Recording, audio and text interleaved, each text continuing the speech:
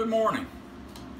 Uh, today's video is going to be opening and unpacking a Martin uh, guitar kit. This came from uh, the Martin Guitar Company several years ago. It was first, it was sold from Martin to Musician's Friend, which is a big online uh, retailer, one of Martin's big dealers. And uh, someone bought it and then one of my cousins bought it from him. So I'm not sure how old this is. I would guess somewhere in the neighborhood of 10 years. But this gives you an idea of what uh, a guitar kit consists of. Uh, Martin is uh, closed down right now because of the corona uh, uh, uh, pandemic and they I'm not sure how long it'll be before you'll be able to purchase any kits from them, but fortunately, John Hall with Blues Creek Guitars, you just do a Google search for Blues Creek Guitars, can uh, sell you a kit.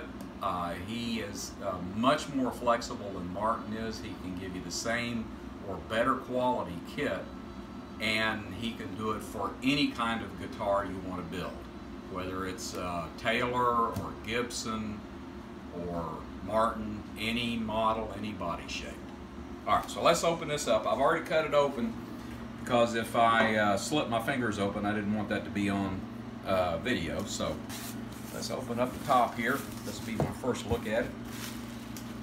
All right, lay, layer of bubble wrap, another layer of bubble wrap, another layer of bubble wrap, some foam, all right, first thing we have here is a, is a raw neck. Go ahead and open that up.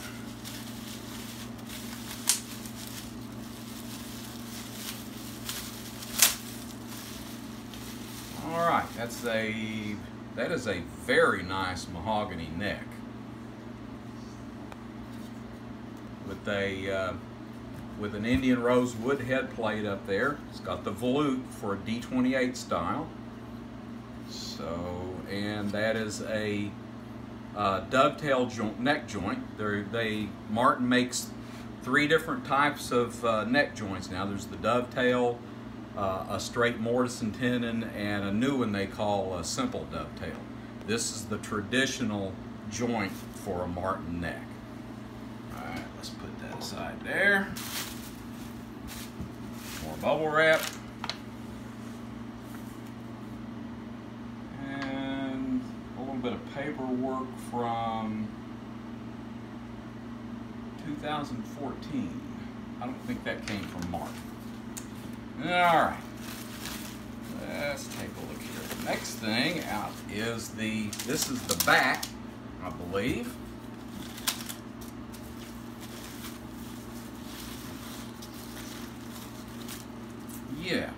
That's, uh, this is the Indian rosewood, East Indian rosewood back. This wood is, is, is a plantation grown now. Uh, it's a renewable resource. They grow these trees on tea plantations because tea bushes or trees or whatever you want to call them grow the best as undergrowth underneath larger trees. So they they plant these uh, Indian rosewood trees and then uh, and then grow tea bushes underneath them. And then when these mature, they harvest them. And it is a beautiful wood. See, that's a nice around you see here. They've already got this one kind of shaped to the shape of the guitar a little bit, but it needs to be joined, glued together in the center to make the complete back. All right, next thing is the sides. The kit will come with pre-bent sides. And this is a dreadnought style guitar, so it's one of the bigger style guitars. This, a dreadnought is what you see in, in any uh, bluegrass band. That's a typical bluegrass style guitar. It's the big one. Martin pioneered that shape before Gibson stole it from them for their uh, for their line of guitars. Gibson also stole bracing pattern from Martin for uh, their flat top guitars. So this is the this is the sides for that guitar. Now you see some oil where when you heat up a side to bend it, it will percolate some of the oils in the wood to the surface, and that's what those black spots are. That, that uh, and these streaks here, that sands off. Uh, one thing about it, this wood smells wonderful when you get it uh, hot or uh, when you uh, when you're sanding on it. It's not real evident right now because the the odor goes away as as it ages, but it's uh, beautiful smelling wood. Let's see, got all our little parts here. Move these out of the way.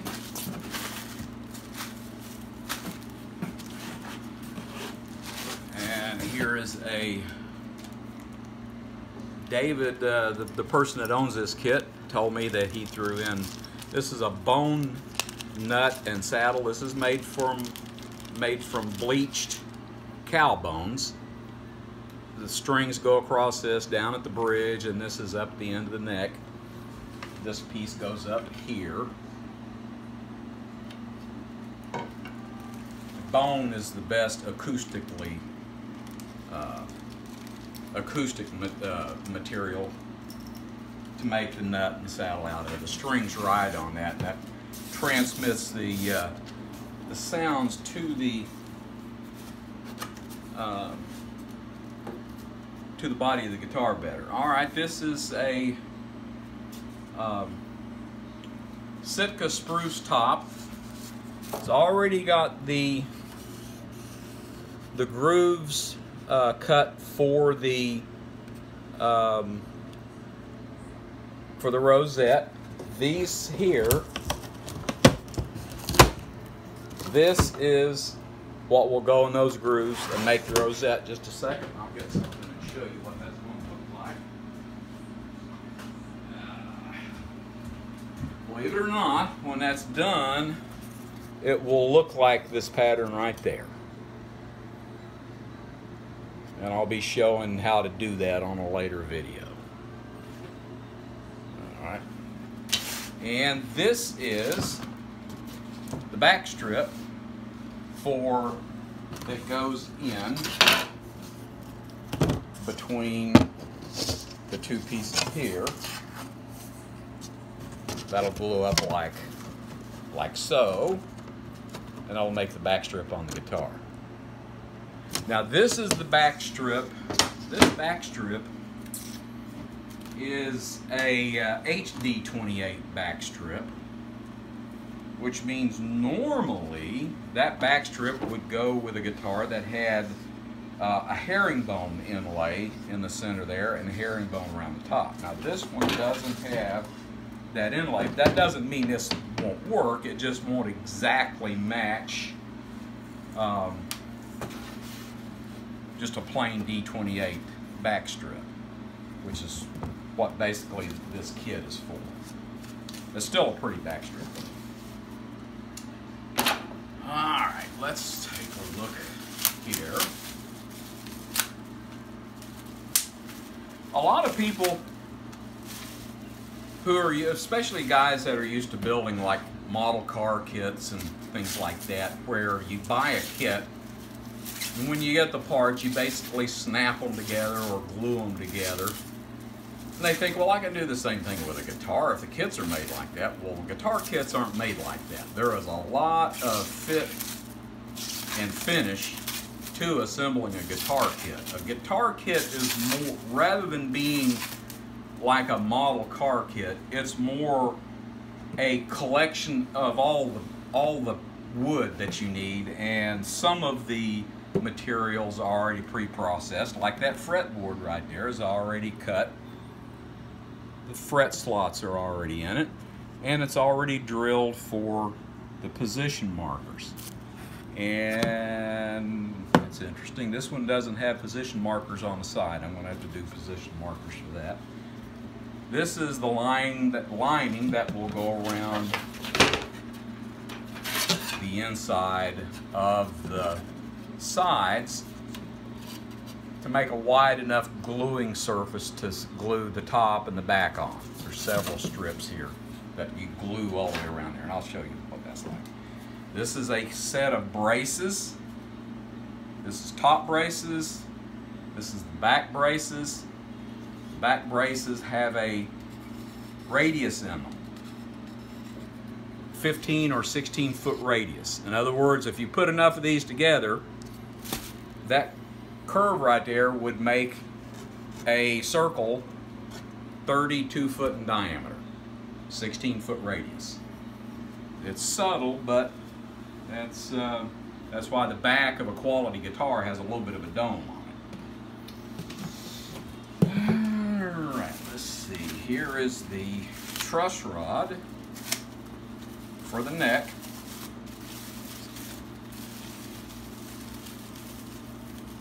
It's a two-way truss rod, so this isn't too awfully old of a kit. They only started doing this within about the I bought a kit about 15 years ago and it had the older style truss rod so this is less than 15 years old that goes in the neck like that and then the fretboard glues on it like that and then you've got a place there where you can insert a um, Allen wrench and that adjusts this truss rod to counteract the pull of the strings on the truss, truss rod. The string's trying to pull the neck this way and kind of make it bow. The truss, truss rod counteracts that and keeps the, the neck flat. Okay. And here is the binding that goes on the, around the body of the guitar, and this is standard D28 binding it's hard to tell now, but that will that will go around the top the top edge and the back edge uh, around the perimeter of the guitar. Years ago, that was to make uh, to make the guitar a little tougher. So if you bang the corners, this plastic would take the abuse rather than making a ding in the wood. But people tend to be a lot more careful with their guitars now. All right.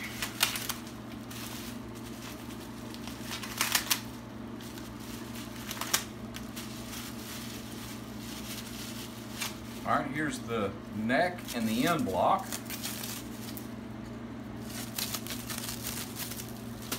I had a video a couple of weeks ago where I showed gluing a rim together this is these these parts go this is this is the neck joint and this is that dovetail joint I was telling you about this part so I don't drop anything but that's how the neck attaches to the body it glues in up here on this end of the body you cut out the wood that goes over top of it here, once you glue it in, that's the gluing surface there. That leaves that open, and then that neck goes in there like that. And you'll notice that it's it's there's an angle there, a matching angle, so when the when the neck slides in there, it kind of locks in place. Now, a lot of folks are intimidated by these joints because they are, um, until you get used to them, they're a little difficult to adjust because you've got four surfaces on the neck that you have to sand to get all the angles and everything right and get it fit in there just right so that it's a tight fit, holds the neck in place at the proper angle to give you the proper string action uh, on the fretboard. And uh, so that's, uh, a lot of people will buy kits or guitars with just a straight uh, uh, mortise and tenon joint because it's a little easier to adjust. But these This is actually the simplest joint there is because there is no hardware with this. You've got two pieces of wood, and that's all there is to the joint. It goes there, glues together, and stays that way. As a matter of fact, a properly fitting joint, once you get it fitted, you could actually string the guitar up and play it without gluing it in there. Okay, and the other piece that was with that. All right, where'd I it?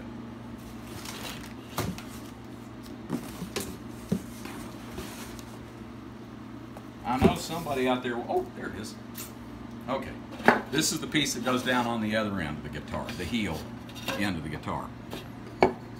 There's a little bit of a radius on that because the bottom end of the guitar is curved just a little bit, but that's where the end pin will go in and the strap button go in on it.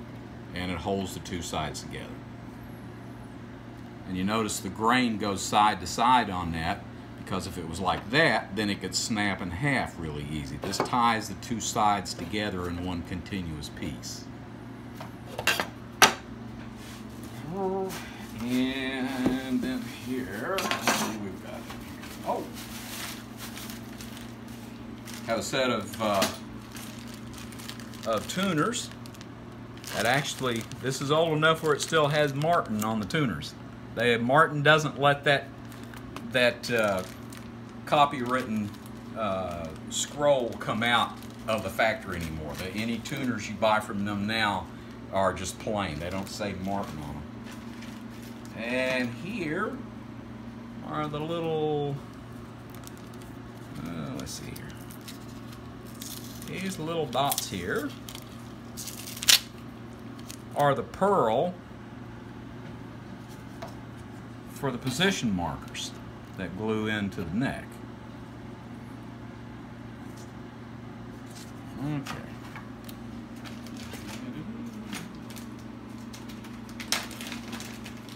And we've got the little strips of wood for the side reinforcements that glue in the side crossways here so that if it gets a crack it stops it from uh, from traveling. Got the a black pick guard.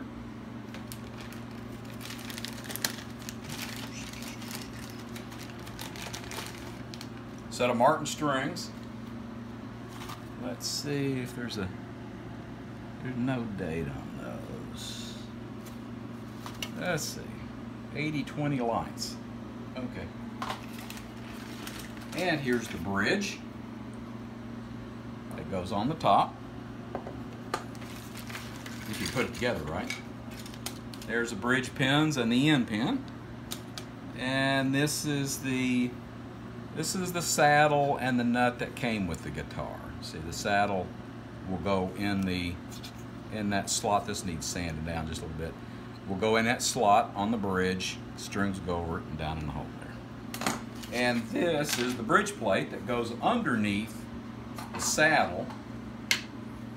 It'll be like like that with the top in between here and the holes go through the bridge plate. That's what reinforces the bottom of the top so that you don't uh, you don't pull the string ends through the top. This is hard maple, hard rock maple. And then this is the end wedge that goes in the end of the guitar here. And that's pretty much it. Um, anybody that wants to build a kit, uh, build a guitar, it's a it's a very fulfilling hobby to have. Don't think you're going to save money building the first guitar. Uh, you, there are some jigs and fixtures that you need to buy to to actually do it right, and I'll be going over that in a later video. Uh, one of the things that I've found and I recommended, and I I did the same thing myself. I when I first bought my kit from Martin, I bought a um, triple O 28 kit. Uh, it, it, exactly uh, met the specifications for an Eric Clapton uh, East triple O EC 28. Uh, it was a really nice kit, some really nice wood, but you shouldn't start out with your dream guitar. Buy the cheapest thing you can lay your hands on, the cheapest wood, um, because you're going to wish that you had learned to put one together before you uh, you actually potentially mess up a kit. And this is what happens with a lot of kits too. They end up in the person's hand and they see this and they're completely intimidated and it's like, there's no, I don't even know where to start.